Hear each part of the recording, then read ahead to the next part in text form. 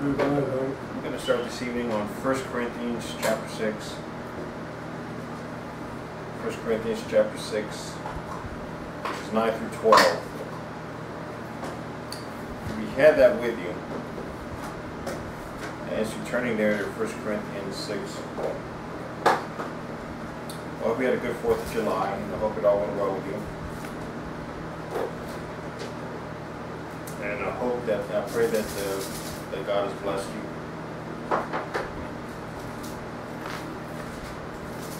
But to be all honest, being honest with you, that this this time of year is just not a good time of year right now. If you're a true believer in Jesus Christ, you know what I'm talking about. It has seemed that in recent days, recent weeks, this world is on a collision course with destiny. And that destiny is God.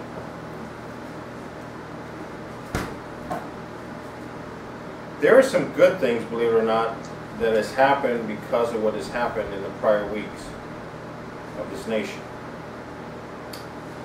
God always sends a filter out to see, or he sends test a test out to see if you're going to be one of those that are before him or against him.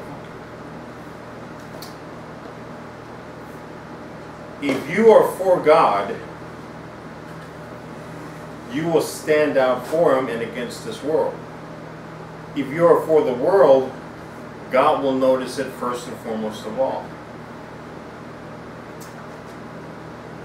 This teaching is not for Episcopalians, Methodists, it is not for Jehovah's Witnesses, it is not for Baptists, it is for believers, it's for Christians.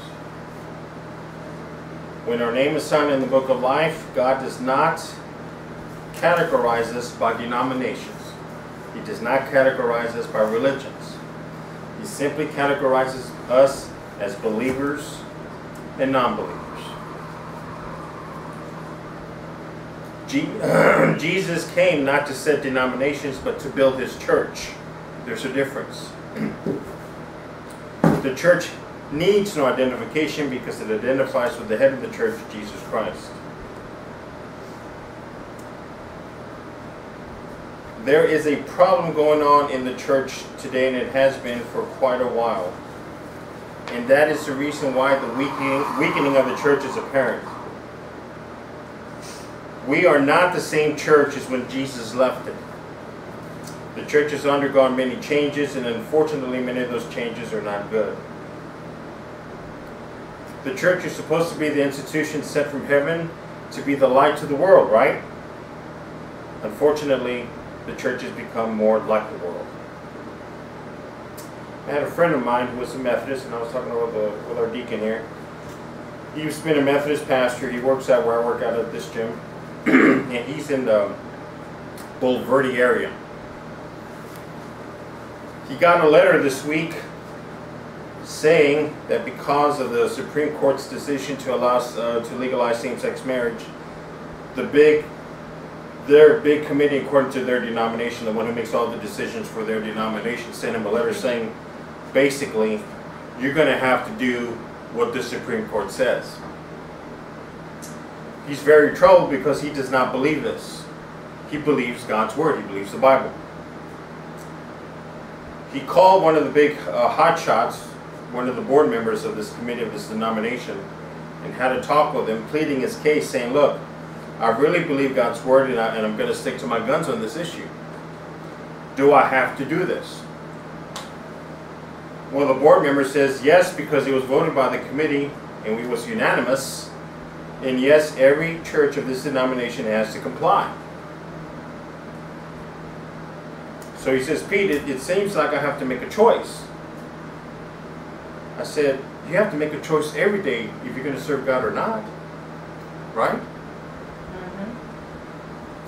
He says, well, Pete, that means that I'm going to have to move my family. That means that I tell him, listen, and he's a fellow pastor. I said, listen, you when you were called to the ministry, did the Methodist call you or did God call you? Amen. When you when you took that Bible and you were going to follow God's word, are you going to follow God's word or are you going to follow the bylaws of a committee? Are you going to follow Jesus, who is the head of the church, or are you going to follow Mr. So and so, who's the head of a committee? And he says, Pete, what? no, no buts. You're either going to follow him or you're not. You're, you're replaceable, I told him. They'll find some other pastor that will do their bidding. They're not going to miss you. You're replaceable. You're a pawn in this grand scheme of things. And he looked at me and says, You mean to tell me that I'm going to have to resign? I says, No, you're going to have to follow Jesus. Amen. And if that involves resigning, you resign. And if that involves moving, you're going to move. I told him, Your identity is not with a denomination, your identity is a servant of Jesus Christ. And you're going to follow his word. Yes. And if that means resigning from your pastorship, you do it. If that means getting your family out of the parsonage to your own home, you do it. You do whatever it takes to follow Jesus. You do whatever it takes to follow your King, your Lord, your Messiah, your Savior. And God will take care of us. And God will take care of you. You the same. You told us, that's right. I say, you've been preaching for over a decade to your parishioners to trust God. Now it's your turn to trust Him. Mm-hmm. And this is a big step for you because God is testing you to see if you're going to be for Him or against Him. He looked at me and says, Wow. Says, I guess that's what it comes down to. He says, That's exactly what it comes down to. Here's what it comes down to. To summarize it real quick. You're either going to love God or you're not. You're either going to serve Him or you're not. You're either going to obey Him or you're not. Paul found this out in the church of Corinth. Let me give you a little background to this church in Corinth. This Corinthian church was a major church. They were big, they were huge. Many members, they were located in the near the metropolis of Athens, Greece. Ah, yes, Athens, Greece. The famous Athens, Greece, where the Olympics started, and um, the famous Greece where many of the fables came forth. Athens, Greece was the world in a city. Anything that you could think of, only Rome was more worldlier than Athens. And the Church of Corinth, even though they were made up of believers and had a lot of people in it, here was the thing. When it came down to actually serving Jesus, to serving God, there was a problem. What was the problem? The problem was this. When it came down to really serving Jesus, they had to make a decision within the church whether to be to follow him or not. There was a saying that Paul said to this church in Corinth, which he spent one and a half years in. He says, Stop being a Corinthian and start being a Christian. What does that mean? Stop being a worldly person and start living for Christ. Amen. Paul was in Corinth for three years, from 49 to 52 AD, and he stayed in this church for one and a half years. Paul was sage, he was bold, he was focused. He was exactly what this church needed. He stuck to the truth of Jesus Christ. He did not compromise. He did not. He, he did not. Was not in disfavor. He was not scared of anyone. The Corinthian church, though, had a reputation for being dysfunctional, for being worldly. As a part of Greece, they focused on, on intellectualism and sensualism as part of their so-called religion. They were worshiping such gods as Isis and Zeus in Athens. Wow. And some of those people went to church because they liked what Jesus taught. The problem was they never left what they were doing. Yep. Instead, they added Jesus to the mix and had their own Christianity. Well, the problem with churches today is because of this ruling that has happened. And it's been building for a long time. We're going to find out which people are really going to serve Jesus and which people are not.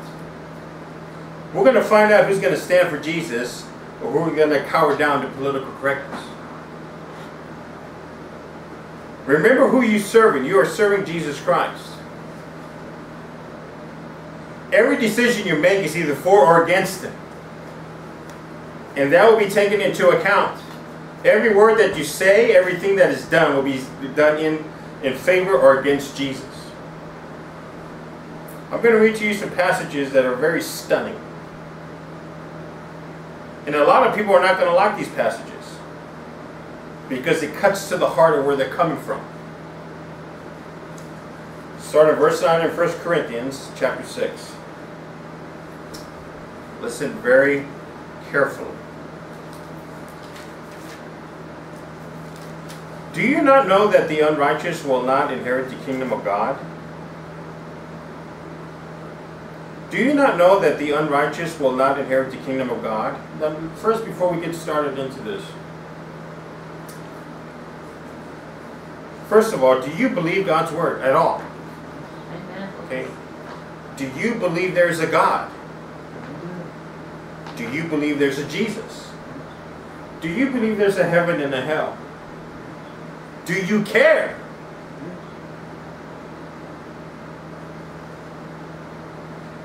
For my friends that are lost, they're not my friends. For those that are lost, every day that you live in ignorance does not make God cease to not exist. In other words, your unbelief does not make God not exist. He will exist whether you believe Him or not. You understand? There's a judgment day whether you believe it or not.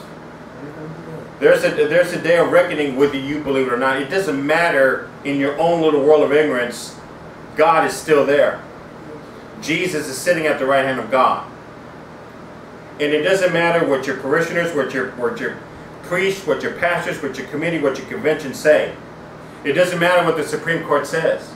It doesn't matter what anyone else says. The only one that matters was one that was here over 2,000 years ago. The Son of God came and declared who He is and who, who He is not only for now but forever.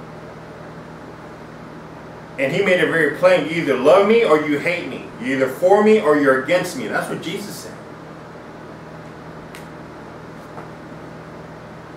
And what I'm about to read to you is considered hate speech by those that do not believe. Have you ever noticed the ones that don't believe they call this hate speech? You, do you sense a pattern there?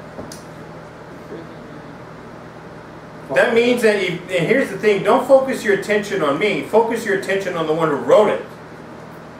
Get your little bitty, itty bitty sticky finger and point it out to the Almighty God and see who's going to win that battle.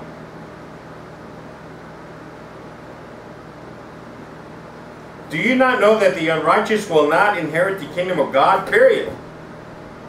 Look at the next three words, or four words, excuse me. What does it say? The next four words.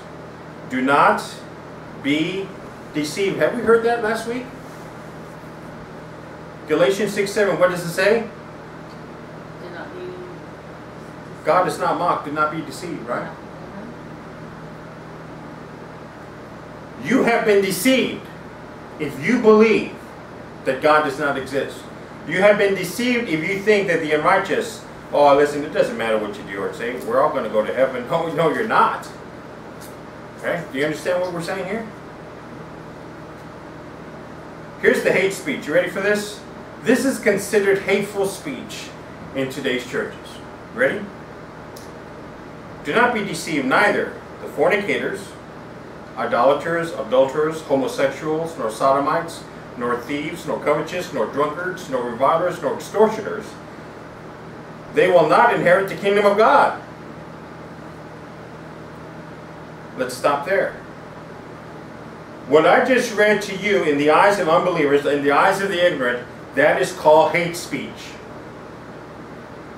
Then Jesus taught a lot of hate speech. Amen? Jesus Christ, when he was on this earth, he taught a lot of hate speech, folks. When Jesus says you either for me or against me, that was hate speech. When Jesus says that this is a sin, that was considered hate speech. Well, judge now, you're not supposed to judge. The Bible says, by their fruits you shall know them. That's not judging. Mhm. The devil has deceived our society into believing that everything is all right. The devil has given you an attitude. It's no big deal. The devil has given you an attitude of equality is essential. The devil has given you an attitude that we should care for our fellow man in our own human, secular humanistic way. Did Jesus come to divide or did he come to unite? Hmm. Is Jesus a divider or is he a uniter? All I have to do is show you in the book of Matthew chapter 24 where Jesus separated what? The sheep from the goats. Does that sound like unity? The wheat from the tares. Does that sound like unity? Mm. On Judgment Day, those that will go to heaven and those that will be cast into hell. Does that sound like unity? No. That sounds like separation. There is a separation that is legal and godly, and that is according to, to the merits of Jesus Christ. If you believe in Jesus Christ, you're going to stand out and you're going to be persecuted and you're going to be hated. They're going to hate your guts. You're going to be persecuted. You're going to be called, called a, a, a monger. You're going to be called a bigot, a right-wing extremist, every name in the book that they can throw at you. But see, they would call Jesus the same thing as well. And they have. They would call God the same thing. This is how ignorant they are. This is how stupid they are. Now look at verse 11.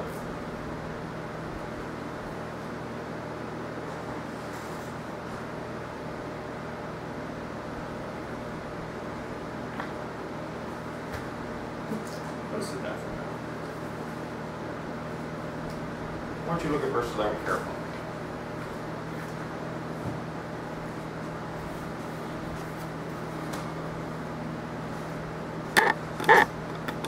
My dad was a pastor. He was pastor over 20 years. There was an incident that happened in Seguin toward the end of his ministry, before he retired. Let me tell you what happened. There was this couple that came to Emmanuel Baptist Church. It's no longer functioning right now. The building's still there, but the church is not. This couple came to him and they wanted to get married.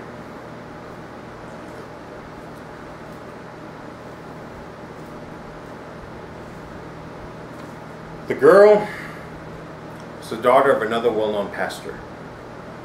Okay? The guy was an ex-homosexual. He gave his life to Jesus Christ. He repented of his sins and he turned to God.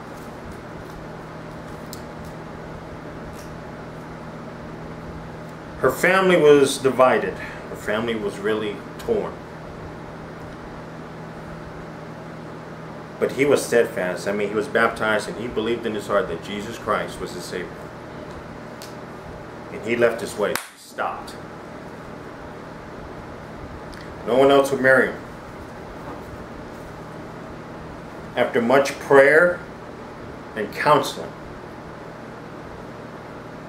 he married them. And the reason he married him was this because he believed in the X factor. That's the name of this teaching called the X factor. He was no longer a practicing homosexual, he was an ex homosexual who was following Jesus Christ. He married them. Did not see or hear from them for a long time. Well, that changed when dad went home to be with the Lord. Who do you think was one of the ones that were there to pay their respects? It was that couple. They had two girls. And they were still married and they were still going to church. He came to mom and thanked mom for dad and said, Thank you. I thank your husband because he knew and he saw my fruits and he knew that I was a born again Christian.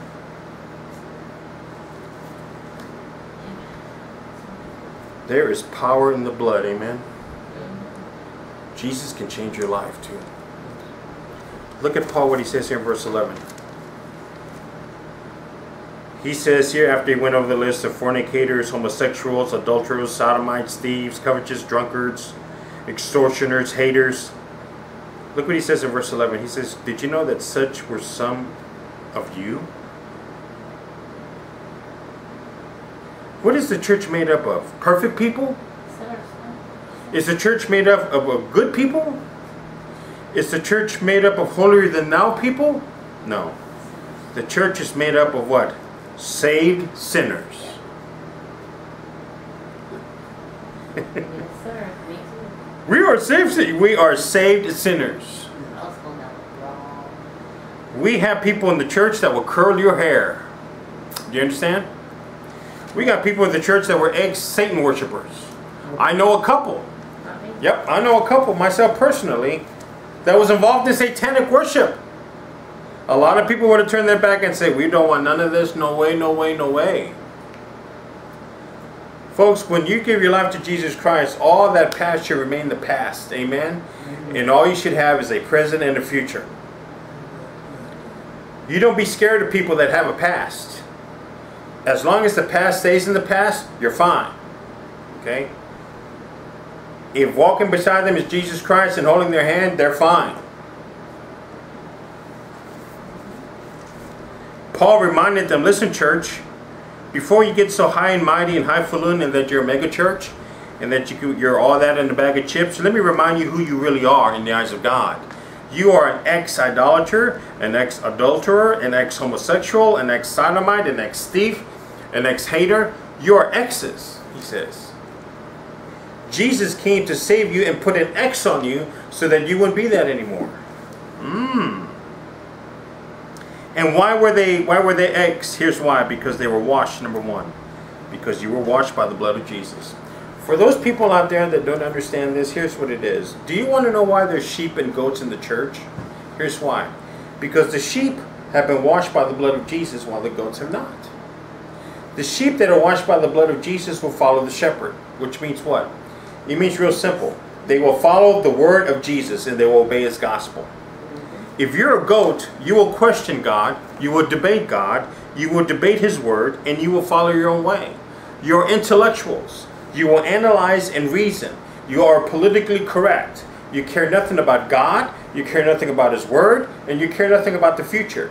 All you care about is being accepted and loved by a society that's bent on going to hell, basically, right? Well, that's pretty harsh. Let's look at John the Baptist. You want to talk about harsh? How many of you remember John the Baptist? Wore camel hair, ate locusts and wild honey. He was in the wilderness and he was preaching the gospel. People call him a madman. One day he made an enemy called Herod. Remember King Herod? He was a bad boy, King Herod. Not only did he want to do away with when Christ was born, all the babies, he was the one that instituted the first abortion in the New Testament. But he did something wrong. See, he went after his brother's wife and got her. Okay, he committed adultery, right? Bad boy. Mm. But see, people were scared of him because he was the king. No one dared to tell the king he was doing wrong or that he was sinning, right? Except for one John the Baptist. When John the Baptist heard this, he says, listen, what you are doing is wrong. And he would point him out and says, you need to repent of your sins and turn to Christ. Did you know that John the Baptist was a cousin of Jesus Christ? Son? Why is that important? Here's why. We'll get to that point in a minute. John the Baptist was in the wilderness, baptizing in the name of, Jesus Christ. He was calling people out for their sins, and he went after the king and says, King, you're committing sin. You're committing adultery. Now, let me ask you this question. In today's society, would it be considered hate speech if you did that? Would they consider it hate speech? John the Baptist shouldn't have done that. He's not. He's a judge. He should not judge. He wasn't judging, folks. He was calling out what was obvious. He was telling him, and he said he didn't derail him. He said, "Repent of your what sin? Repent of your sin. Turn to God." He was not ber- berailing him. He was teaching him the gospel. See, this is the gospel. The gospel is this: that we're all are sinners, and that we need to turn to Jesus Christ. We're all born into sin. Okay, that means that we are born sinners. That came from Adam and Eve. That did not come. The God did not create us sinners. sin happened in the Garden of Eden. Do you understand that? Okay. The devil, Satan, sin was found within himself. It was found within himself, and he wanted to be worshipped as God. Read Isaiah chapter 14, verses 12 through 15. You got that, Kathy? Isaiah chapter 14, verses 12 through 15. I'm sorry, what's that? Isaiah 14, 12 through 15. He wanted to be like God. He wanted to be like the Most High. He wanted to be worshipped as God. Okay? That is called sin. What does the word sin mean? Okay. For those that don't know what sin means, you have to know what it means. Because if you don't, you miss the whole picture. We're going to come back to this in a minute. Sin means to rebel.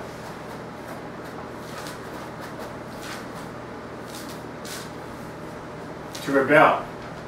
To go against. To oppose.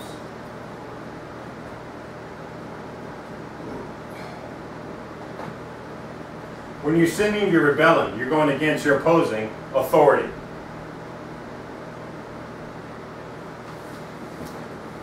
You are opposing God's law, God's authority. That is not good. Do you understand that? That's not good. You will always lose when you go against God. Are you listening? You will lose. You disobey God, you will be cursed. You won't be blessed. What are we saying here? This is what we're saying. Everything that you have said and done against God will be held accountable. You will have to pay for your sins. And if you can't pay for your sins, you will be in eternity for hell to pay for your sins. But that's considered hate speech. Right? Folks, this philosophy of judge not lest he be judged is from the devil. The devil has twisted the scriptures to intimidate people. The devil is a liar and a deceiver. Are you listening? He's deceiving a lot of people. And not only is he deceiving a lot of people, a lot of people are going. They, here's the sad part they're going down the wrong road, and it's going to be too late.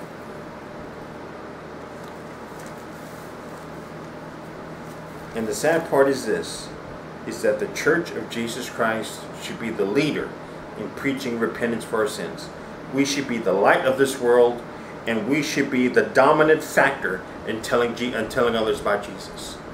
But we, for you Methodists, for you Episcopalians, for your Seventh day Adventists, for your Church of Christ, and for all your religions out there that have these little bitty skirmishes of what is right and what is not, all you're doing is debating among yourselves you're cowering to what the world is saying. You are becoming politically correct. You are weakening the Word of God through your insufficiency and insubordinance. And you are going against God's Word. And you will have to answer to God for what you have done in the name of Jesus. And you're going to do it in your souls. Every soul that goes to hell because of you, you're going to account for it. You are responsible and you are, are liable for what you're doing against God's Word in the name of political correctness and acceptance in this world. And that is a, that is a darn shame because parents now do not have the gumption to tell their kids to do what is right. Parents now are cowering in and they don't want to hurt feelings. Let me tell you about feelings, folks.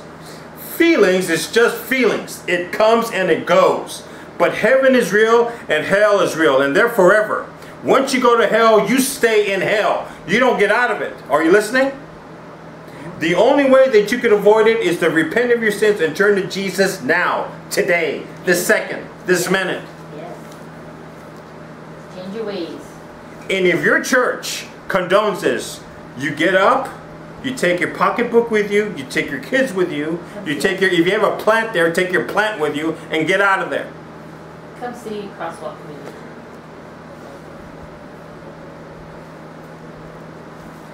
This is serious. And here's the thing you know, everyone talks about this. Let's be happy. Are you happy? Let's be joyous. Very. What about God? Is He happy? With me? You think God is happy with His country right now? Do you think Jesus is just dancing in heaven over what's been going on? Do you think Jesus is proud of His church right now? Are you listening? Do you think Jesus, is He proud of you? Is He pleased with you? Is he pleased with what you've been doing? Is he pleased with your actions? Is he pleased with your words?